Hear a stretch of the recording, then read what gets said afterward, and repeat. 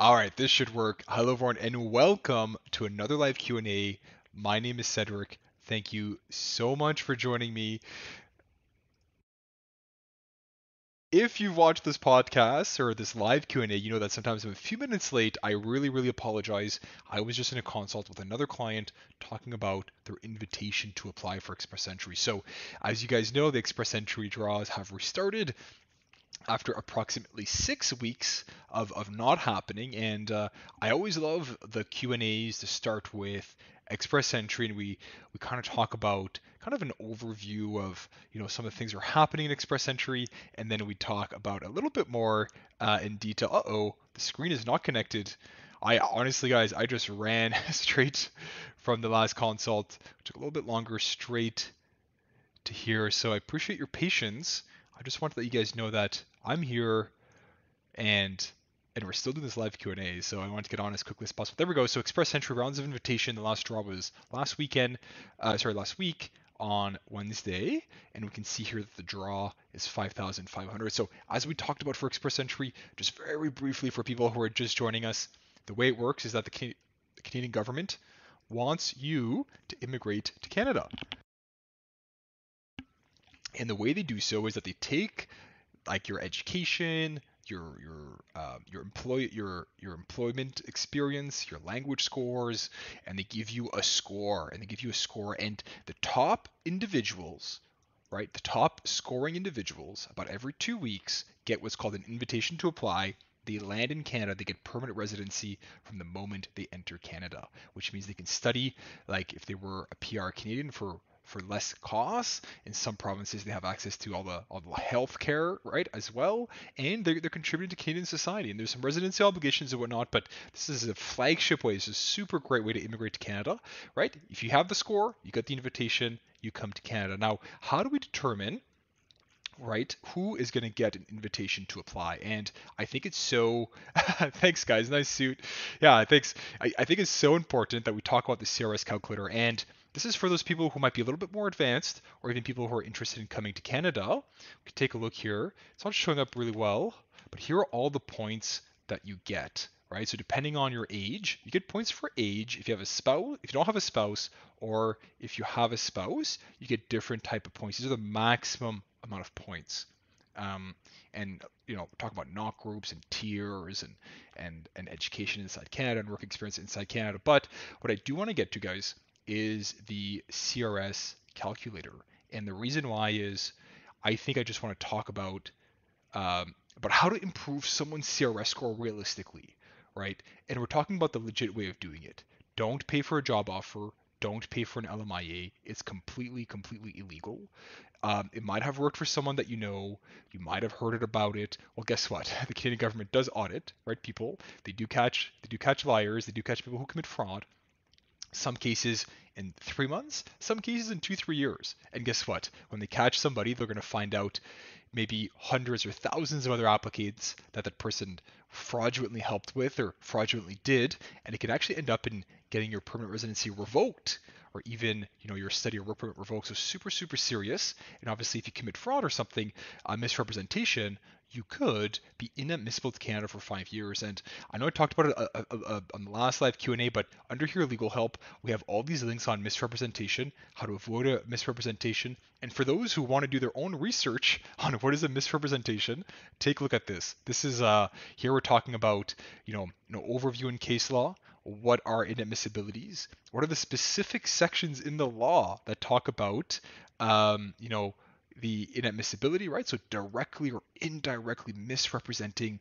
or withholding material facts relating to relevant matter that induces or could induce, could, could induce an error in the administration of the act. So take a look at some case law talking about, you know, what applicants have to do, right? Uh, how, so section 40 here, they're talking about misrepresentation. Again, these are really for DYIers, people who want to know, you know, what are misrepresentations and do their own research take a look at our website, Holthe Immigration Law, links in the comment below, obviously. All right, but let's head back to our CRS score calculator because I think this is such like a common question. Now that we're getting close to the 480s or 490s in terms of CRS score, let's talk about ways that we can increase our CRS score. Like legit ways in three to six months, your CRS score is going to go up. All right, so let's start with, we're going to talk about the situation of being married.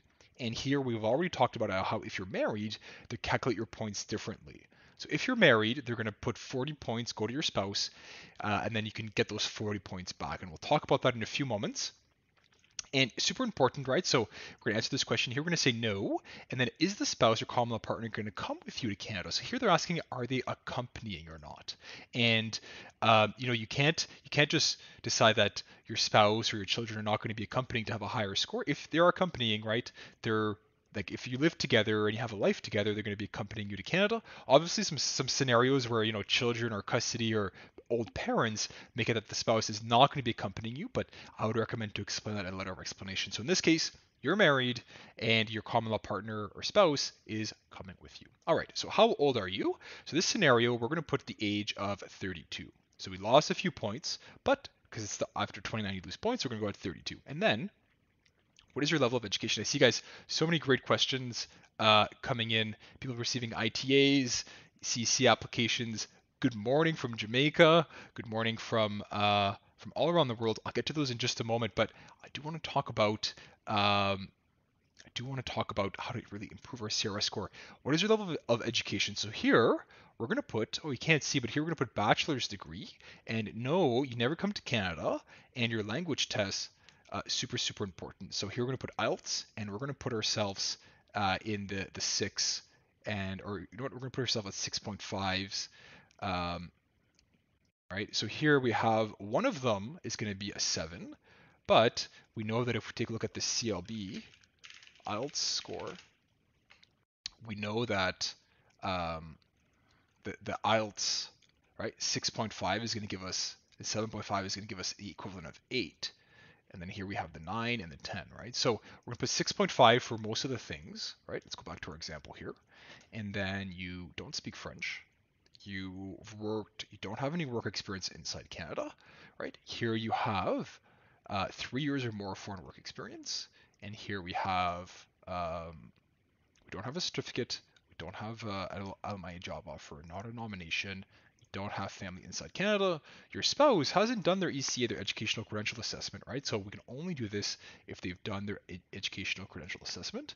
And then here we're going to talk about work experience, Canadian work experience. Here they're not asking about foreign work experience for the spouse, only Canadian.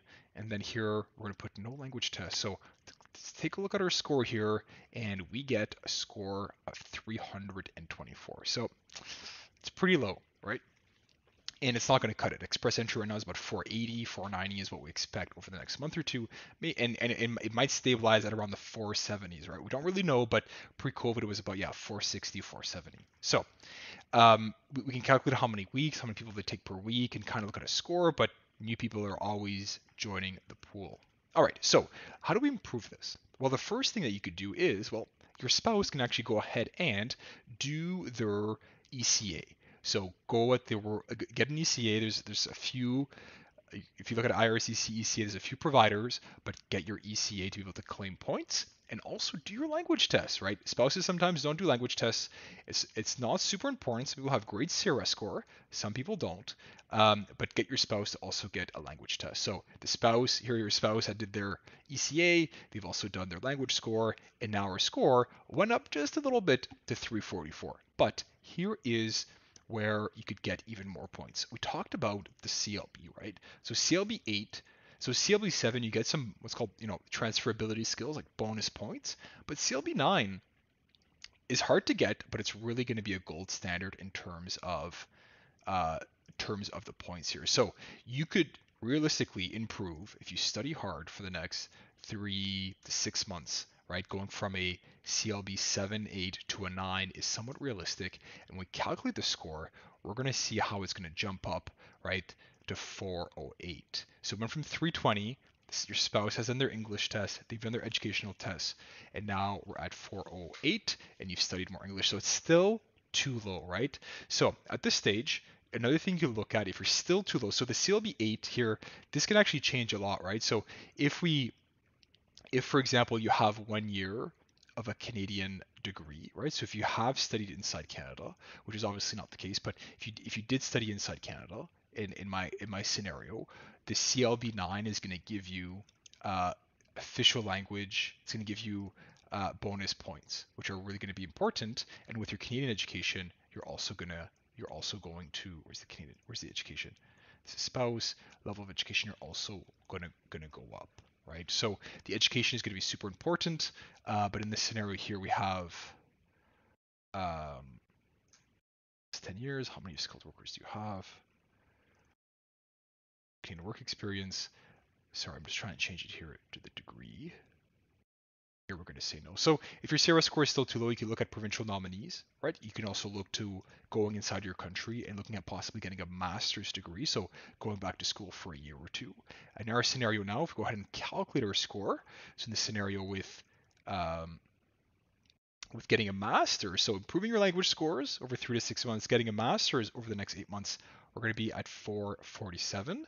Um, here, then then then it's getting tough in terms of improving scores. We could talk about you know your spouse improving the language scores. We could talk about getting a study permit and studying inside Canada, getting Canadian work experience, but all these are really far. And maybe, maybe I could have given myself a better scenario, but in reality, sometimes someone might sit at 420, and by the time they do the language test, right, and they get their spouse to do their own language test, then they find themselves at around 470 or 480, which could be the whole difference between getting an ITA or not getting an ITA. But I just want to talk about kind of realistic ways to improve a CRS score before we talked about today. And right, if you're married, get your spouse through the ECA get your spouse to possibly improve your lang- their language scores. If your language score is right, we really want to aim for everything at least uh, everything to be a seven, right? So if one of if you're underneath this, right, it's not going to be good.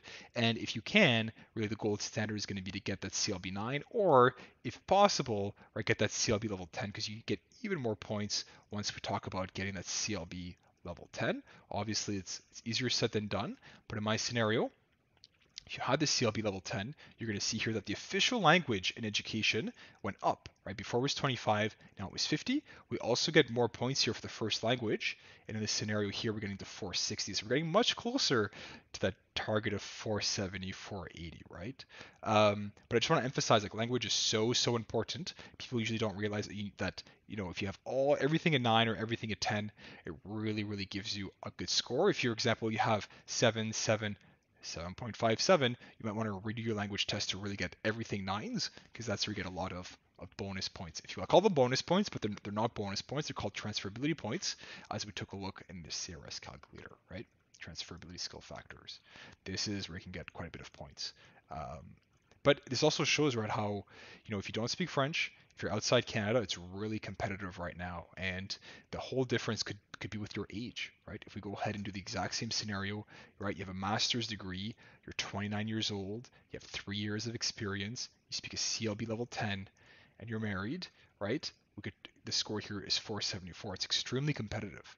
If we do the same scenario, but we put you as single, right? It's going to recalculate. I think we're going to have to redo this. Are we no, you put as single, we talk about those 40 points going to your spouse, right? If we do this as single, oh, it's still showing the spouse, but as single, you're going to see here that it's much higher at 501, right? So anyways, hope this was helpful. I think the CRS calculator, go through it, go through a few options of improving language, right? Your spouse improving their score, going back to school for a year or two to increase your CRS score. It can make the whole difference. Now, a lot of talk about, you know, a lot, a lot of talk about occupation specific draws um, so let's go take a look for occupation specific draws. And there's a lot of stuff going out there in terms of what people know, someone has told them. Uh, but let's take a look at what, what we know, what's official or somewhat official by IRCC. So stay tuned. This is not official. So sorry, this is not this is not the official way that they're going to be selecting and changing Express Entry. But this is an official statement by Express Entry about how they're going to be enhancing Express Entry through category, category-based selection. And this document is super interesting because it's for, it was used for consultation, meaning that they used it to be able to to, to, for lawyers, for applicants, for consultants to go through and to actually provide feedback on what are category based selection, right? What is the process for determining the new the new categories, what are the proposed priorities and category selections, what they want to do, right? So they want to look at chronic chronic uh, labor shortages. They want to look at selecting based on experience in a particular or occupation. So even if your CRS score is like 350 or 400, but they really need, you know, IT managers in Calgary, you could find yourself right getting an invitation to apply. So having an express entry profile right as you continue to work towards your goal of coming to canada is a valid option especially since we have confirmation from ircc that they're going to be looking at the actual candidates right? They're going to be actually looking at the work experience and the tier codes and whatnot. So take a look at this document right? They might transition international students to permanent residence right? No more post-graduation work permit. You finish your school you get pr right so it's going to be super interesting. They might do temporary foreign workers to permanent residents, right? This was, you know, the TR to PR, right? People have, you know, keep asking questions about this. But here's the TR to PR, guys. Um, they're exploring, looking at some various industries, right? Some various opportunities. So a lot of talk about occupation-specific draws or category-based draws. Take a look at this document. Let's see what the possible categories are. Let's see what's going on. Mark did a whole live Q&A about this. All right. Now, the, the reason you're here is not just to hear me talk. I could do a video like this. The reason you're here is really to ask questions. So let's get right to it. We have about maybe about 20, 20, 15 to 20 minutes to go through today. So I'll try to get through as many as many questions. And as usual, I'm just providing um, legal information, so not legal advice. I don't know your specific situation. I don't know if what you're telling me, you know, is completely accurate. I don't know, and I'm not here to tell you what to do. What I'm here to do is actually give you IRCC information, information that we can all find on the website, and I try to actually help you, guide you through essentially how um, how you can look and find information, right? So super super important. Just legal advice. Is not legal information. Uh, sorry, just legal information. sorry, not legal advice. All right, let's get to it. Ravi says, Hi, Cedric. Internship for Express Entry FSW points. Been full time student plus three month full time paid internship plus two year job, same NOC and all in India. Typical co op terms. Does internship add to CRS points? Good question. So let's talk about eligibility here. So Express Entry, you have to be eligible, and then we can start about calculating your points. Eligibility for federal skilled worker, super important. It has to be one year continuous. So one year continuous full time, right? Or you can have the equivalent of in part time work. So you have X amount of weeks, X amount of hours, does one year full time. Now, big difference between FSW and CC is that FSW um, does allow for student work experience to count if wages were paid. So my question for you would be, were wages paid during your internship? You say here th- plus th- been full-time student plus three month full-time paid internship, right? So if it's if it's paid, it's going to count. Now, well, it's going to count. It should count. I, I don't know if you have the proper reference letters. I don't know about your specific situation, right? But once we meet the eligibility, once we have our one year continuous work experience, then we talk about CRS points. CRS points are through what's called a ministerial instruction, and we can click here and find out the most recent ministerial instruction, and then actually find out here's like you know the rules about how they count the points, and we can go down here to foreign uh, work experience, and we're gonna get right to it at the bottom here. And then you can see here how they give you the points. And you can also see here oh this is the combination.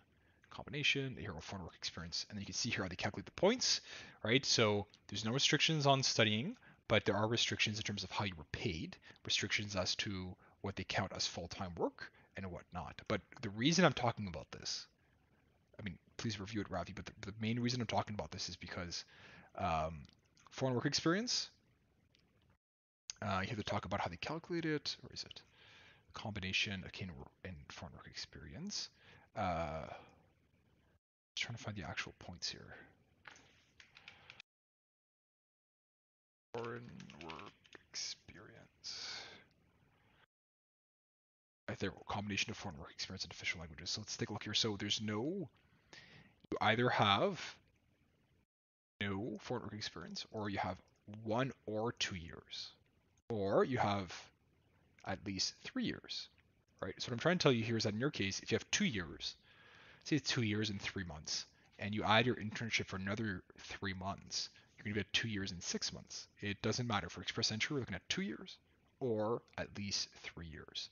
So in this case, it might not make sense to have to provide in your work history section, in your supporting documents, it might not make sense to provide uh, supporting documents for the internship because it's not going to give you any points if you already have your two years in the job. Now, how do you calculate the hours, the weeks? Was it paid? How do you support this, right? I, I, this is probably the most common reason why applications get rejected is for incomplete reference letters. So make sure you have complete reference letters. Look at the completeness check. Obviously, head on head on over to our website here. Holthe Immigration Law. We we we work differently, right? So we're immigration lawyers. We're not consultants. I've been to school for at least seven seven seven years in law school, right, with a master's degree two law degrees, and uh, I've been practicing for the last five years. I used to work in immigration for the government of Canada. I've worked for the United Nations, quite a bit, and also at the federal court. So head on head on over to website, book a consult here at the bottom, and I'd love to have you to, to actually speak with you and look to see whether or not you meet all the experience. Learn here about on, on our team. Uh, about us against Holthe Immigration Law. There's links in the comment uh, below. All right, next question. Let's get to it. Uh, can I visit home country for two weeks while my express entry is in progress? Um, so there's no requirement, right, for you to be inside Canada, right, or outside Canada uh, for Express Entry, right? You can meet the eligibility for one and another. You can be inside Canada, outside Canada. It, it doesn't really matter. But what you do need is a, is a status inside Canada, right? You can't just stay inside Canada. You still need to have a, a status inside Canada, and you also need to, if you if you need a TRV, a visa to re-enter Canada, or an ETA, you're going to need that as well, right? So there's no hard and fast rules saying that you cannot leave Canada or you must stay inside Canada, but the same rules apply.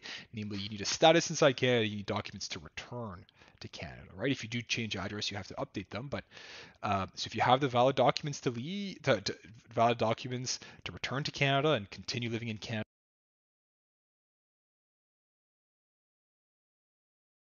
But if you're under maintained status and you lose your maintained status by leaving Canada, you don't have a TRV to re-enter Canada, then it's going to be a different, uh, different uh, scenario. All right, next question. Next, next question. Let's take a look here. Um, all right, Lima, nice to see you again. In the case someone submits CC application, how long does it take for medicals to show past on profile portal? So typ- typically, uh, and we talked about this in a team meeting recently, but typically it's going to be after your eligibility, right? So typically you're going to go through the eligibility after three months or so, and then about 30 to 60 days later, the medicals are going to get passed, and then we go to security and background checks, and then passport requests, or you know the confirmation of permanent residence, depending on your your situation. But I think typically we're talking about 30 to 60 days. Um, Shahar says, "Hi, Cedric. Got ITA." It very confused. In profile, claimed two jobs, one with one and five years experience, but now I can't prove the job with one year. Can I only claim the one with five years? Um, so it's it's it's gonna depend on your eligibility, right? So we talked about FSW and CC, which is different eligibility for work, right? So the question I have for you is the five-year. So like, is this is it for CC? Is it for FSW? If you don't claim the one-year experience, does the other five years still meet the eligibility, right? Foreign work experience maxes out at three years, right? So if you have five years experience, you might only need to prove those three years. Can work experience maxes out at five years, right? So if it's can work experience, it's going to be different in the way that we look at, at this issue. And then again, eligibility is super important. Number of hours very important, but also the NOC. What did you put for the NOC code as your primary NOC? Is the one year experience the primary NOC? So it's, it's hard to tell you exactly what to do without knowing a little bit more about eligibility, without reviewing your situation. Listen, if you want to book a consult, I'd love to talk to you about this and really get this ironed out. But you know, if you have your intended NOC in one NOC and this five years for another NOC, right, then it gets definitely more complicated because you got your ITA with with one NOC, but not impossible. But I would just make sure that that these are things that you want to consider and analyze as you move forward, right? But when we work with our clients for Express Entry, we go through all the supporting documents when we're creating the profile. We go through all these things to avoid these these issues where then you're trying to call your employer after the ITA and you can't reach them or they want to give you the reference letter, or you don't have the document. We really go through all of this at the profile creation stage so that when you get the ITA, you essentially just submit your profile and upload the documents, right? My brother just arrived to Canada, he changed his program. The same DLI, does he need to inform IRCC of the change of program? It's it's it's gonna oh, it's a good it's a really good question. I was looking at this for somebody else uh, recently and let's go take a look here. Unique. Um, was it? um, there's a whole section that they talk about this. Uh, if your if your application has been approved, you must submit a new study permit with a new letter of acceptance. This is for when you're outside Canada. Um, so you're not changing schools, but you're changing program of study. If you change schools and don't tell us, uh, enroll at a DLI, actively studying, contact us. Um, I there could be a condition on your study permit, so I would I will double check it. But um, I believe that if you do change programs within the same school, it, and I don't want to give you wrong advice. Um, change your right? Are you, ch- you move on to the next program of education? That's why you're changing programs. To be completely honest, I think I need a little bit more research on this to give you the proper advice you need. I don't want to say something that that is not right. I don't know all the answers to every scenario off the top of my head. It's true, and and and I will admit it. I, I do, and I still do need to sometimes confirm some stuff. So I I don't know off the top of my head to, regarding the situation. And again, I don't know specifically like same same school, same level of education. These are all things that I'd want to know before really going um, going going into detail.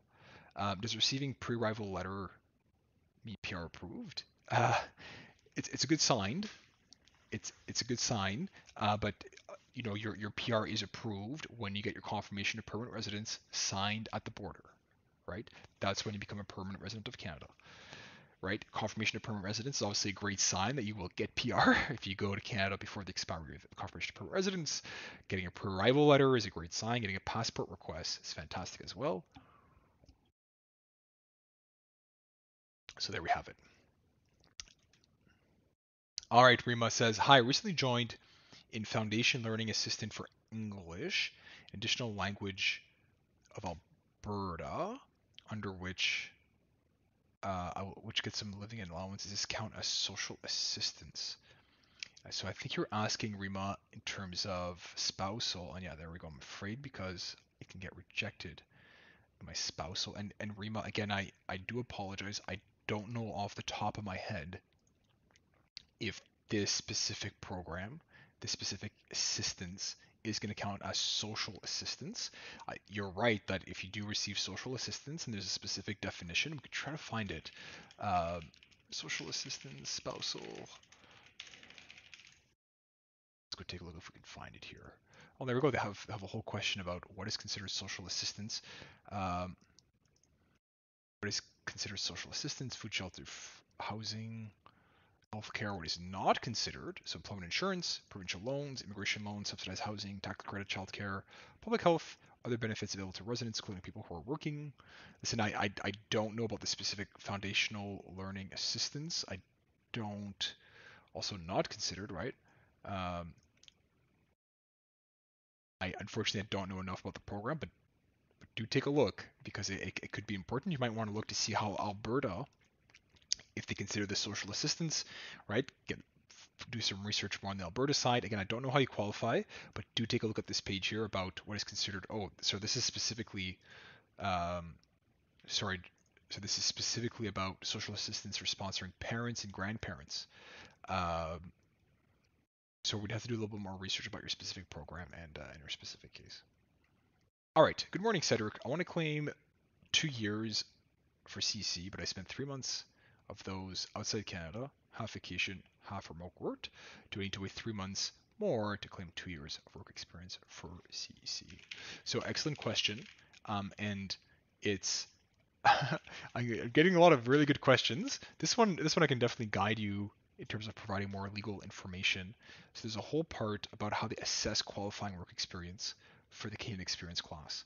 This is going to be under the operational manual, operational instructions, and guidelines. So here they're going to talk about how this works, and it's already in purple. I've already did a little bit of research here, so it has come up in various cases. So determining the, the, applicant's status, right? You have to be an employee, can't be contractor, can't be self-employed, right?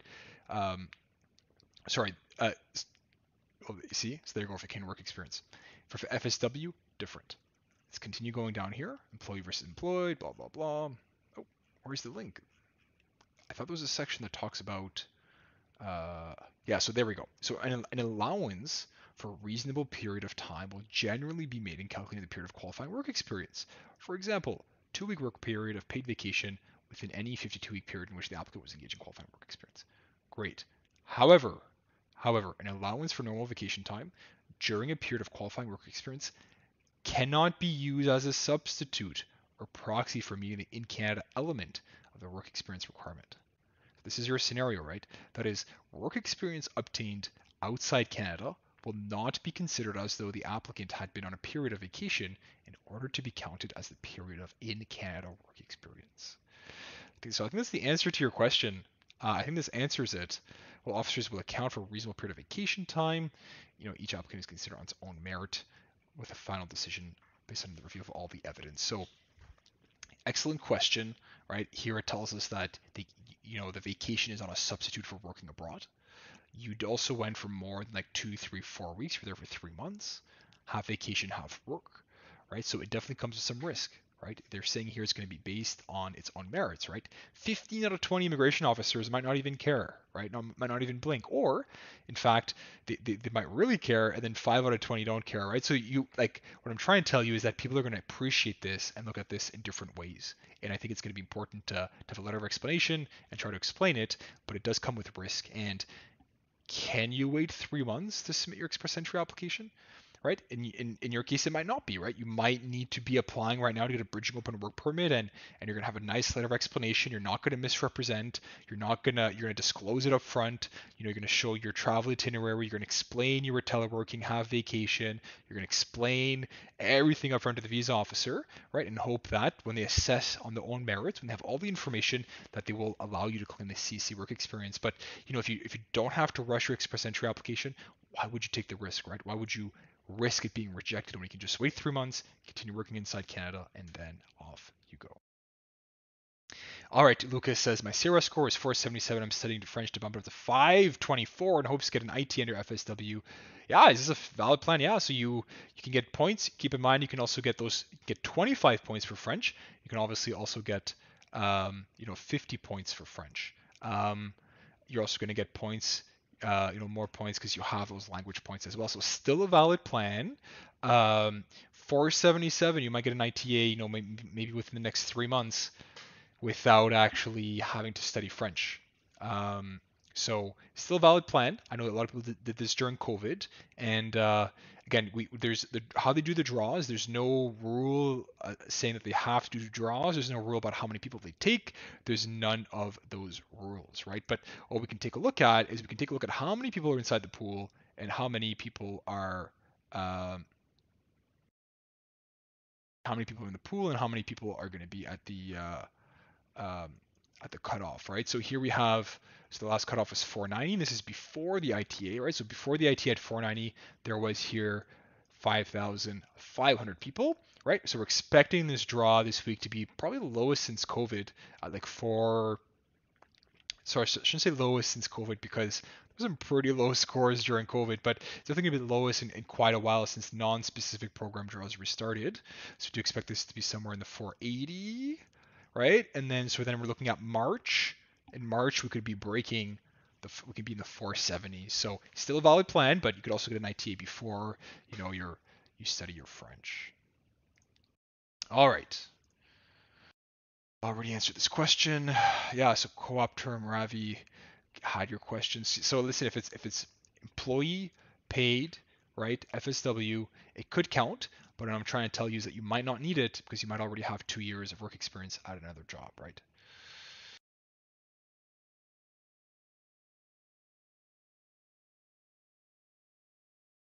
Um, the employer of my primary occupation does not have any online presence, like Google search results, very outdated company website. Will be an issue during my work verification. Well, keep in mind on it has to be on the company letterhead, and they have to provide more details. You have the email address, phone number, physical location. Some IRCC offices have fraud departments, and sometimes immigration officers have time to actually go physically to an office and check the physical premise, right? So if the company doesn't exist, for sure it's going to be a problem. if the company does exist, like they operate, you know, a steel working shop, they just don't have a website and and whatnot, or no social media, right? There's no requirement to have that, but I would just be, you know, make sure you provide everything you required inside the completeness check, right? Completeness check. Um, read this like super like like read this super carefully. And then proof of work experience. I just talked about the the has to be on a company letterhead, but also needs to provide information, right? So there's no requirement, no hard and fast requirement, but make sure that you do meet uh, these requirements. All right, Bauer says, hello, is it okay to apply for program Stream Alberta without high school diploma? I have a work permit. Um, generally don't really like these questions because there's many, there's a lot of programs in Alberta, right? Here you're asking me about possibly, right? You're possibly asking about six or seven programs. Um, there might be some niche programs, some that I'm not necessarily that I that, that I can't necessarily think about off the top of my head, right? But like your question here, you're asking me. Um, let's go here, immigrant to Alberta. So here we're gonna go uh, Advantage Immigration Program. And then we have here three streams and streams for entrepreneurs. So seven different programs. I, I, I, don't know. You're going to have to do your own research, unfortunately. But I mean, I, th- I think it's generally very difficult to, Im- to immigrate to Canada without without a, a, high school diploma. I could be wrong, but it's just very quickly, right? So here's a, here you need you need at least one of these from a post from a post secondary institution, right? Um, or have an ECA, right? So here you definitely need more than high school. Um, again, this might not be useful for more people, so I'm just going to skip it. But do your own research, right? There's seven programs here. I, I, I can't go through all them, unfortunately. All right. Uh, Ilana says, "Hi, I'm a member of the the Ukrainian program, Canadian Ukraine authorization, emergency travel. All right. Unfortunately, I'm still waiting for answer from a child for his program. Can I get a work permit at airport if I arrive? Can I get work permit at airport if I arrive after the date of program ending. Uh, I I definitely wouldn't try to apply to a program after it's closed, nor try to get a work permit for a program after it ends. I don't know the specifics of your case. I don't know where you are. I don't know what's going, so I'm just gonna be very cautious. But I think as a general information, right, a program is gonna end on a specific date tend to be very, very strict about that program actually ending. So um, I know that the Canadian Bar Association has, I think they, they still have a program for pro bono work where you could speak to a lawyer for free who could help you with your um, with, with the Ukrainian nationals. So you can actually go here on the CBA website, and I am a CBA member, and I've done some some free consultations. But I would I would encourage you to take a look here at the Canadian Bar Association and make a request for pro bono assistance for Ukraine and uh, have someone actually look into your situation and meet with you and get get information right? And this is what we do in, in, paid consultations to really sit down with you and understand you know your your situation. But take a look at this you can speak to a lawyer for free and uh, definitely consult with uh, with one of our with a Canadian Canadian lawyer. All right if I got my ITA but made a mistake on the day I started my studies when I submitted my info for Express Entry, can I correct on my ETA application or do any letter of explanation? Yeah, was, I would actually do both, right? So always submit the correct information to IRCC. You find a mistake, you forgot to disclose a refusal, disclose it, letter of disclose it 100%. Don't continue snowballing the mistakes. Mistakes happen, right? And you can explain it, saying, you know, it was a typo, or I looked at my transcript that had this date instead of my degree, instead of the ECA. Fix it 100%. And I would correct the your application. I would also provide a letter of explanation as to the date, as to what happened, right? But I definitely would not continue to to snowball to snowball this. Ravi says my three month internship was by bank after one year training course by the same bank and two year 10 months in the job, same NOC. How does it stand for CRS points? Yeah, so so as we talked about, right? So experience you gain while a student for federal skilled worker may count for express entry. And in your case, it's going to bring you from two years to three years. So in your case, it's going to be quite important, right? So if it's paid, right, it, it if it's paid and it meets the requirements and the ministerial instructions, it could count. I'm giving you legal advice, right? You can do your own research. Obviously, if you'd like to have a consult with me and me to actually review your reference letter, review your situation, look at look at look at your file, right? Assess your CRS score, we need a consultation for that because right now I'm just giving legal information. Look at the eligibility, look at the ministerial instructions, uh, and also, or you know, have us retain us in a consult, or we'd love to do the express entry application with you, or also just answer your questions. All right. Hi, Cedric. CPC Ottawa is slow in processing CEC applications. I heard that many CEC applicants submitted a later date, were processed, and other offices got approved. Yeah, so I think I think right now it's about three to six months for for cases for P, for PR applications that were that were submitted after after COVID, right? So this specific time where they kind of took old files and that continued, and new files are are continuing with trying to be under six months, right? So, um, yeah, from experience, some offices are quicker than others, but three to six months tends to see what we're doing today. Now, keep in mind that if we go to the IRCC webpage and actually look at the processing times, and we go here to economic immigration and put um, uh, CEC, the, the, official time is still going to be about 20 months. But as you said, people have got it quicker, and uh, and, and what we're seeing right now from our current clients is, is yeah, is about the 20 the 20 months for the processing. Listen, guys, I'm really sorry. I do have to go. I have a call about five minutes. I know I was late.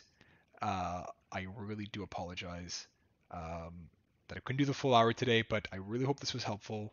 Um, wish you, I wish everyone here really, really the best. Um, really the best weekend. I'm going to see you next week on another live Q&A. And I'm sorry I can get through all the questions. Uh, if you are, if you do want to speak to me, right, we can share a screen, go over your documents, take a look here at Holthe Immigration Law, visit our website, tons of information about immigration, studying, working, business immigration if you're a business inside Canada and you want to hire foreign workers, and then legal help here on judicial reviews, right? So I'll say this every time, but if you get a refusal, super important to reach out, right? 15 days for inside Canada, 60 days for outside Canada. Super, super important. So take a look at our content for misrepresentation, delays, refused applications. Everything's on our website and speak to a lawyer at the very, very top right. I am, there we go. there I am. All right, guys, have yourself a wonderful week.